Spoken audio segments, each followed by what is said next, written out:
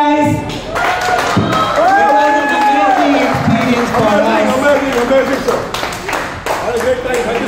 Thank you, thank you very much. We require all your feedback. Please give your valuable Five feedback. right now. And, and next week, hopefully, we should meet again. We'll see that, everyone. Thank you.